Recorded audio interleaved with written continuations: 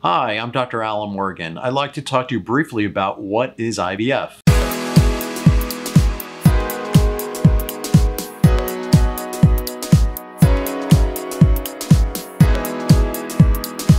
IVF means in vitro fertilization. The word in vitro means in the laboratory the egg and the sperm meet. Normally means meets inside the body in the fallopian tube. Um, so that means we have to remove an egg or multiple eggs and fertilize them with sperm in our lab in the incubator. So the process goes pretty quickly. Um, once a woman gets her menstrual cycle, she starts fertility medications.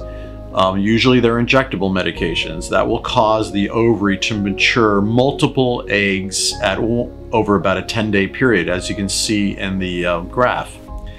Now, as the follicles, these are the little bubbles in the ovary, get bigger and bigger, they make more and more estrogen. So every day that goes by, as the follicle gets larger, the estrogen level goes higher, and eventually these follicles might get to be the size of a small cherry tomato, and it's filled with fluid, and the egg is in there.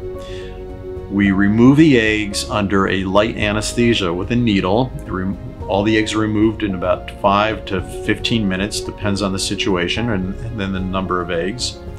Um, the partner will either bring a fresh semen sample in or we can use a frozen sample or a donated sample. We will fertilize the eggs. The next day, our embryologist will check to make sure all the eggs fertilize. On the third day, she checks the embryos to see if they've divided into maybe six to eight cells by then. And then on the fifth day, they become what's called a blastocyst, as you can see in the chart. And the blastocyst is the stage we transfer the embryo back into the uterus through a small little tube through the cervix. That's called the embryo transfer. Now, we do have the option on the fifth day not to transfer the embryos, but to freeze them.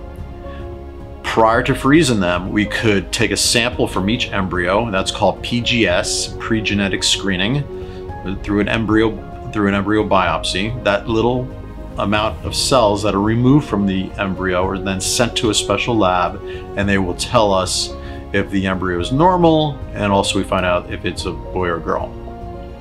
So that's IVF in a nutshell. Thank you very much.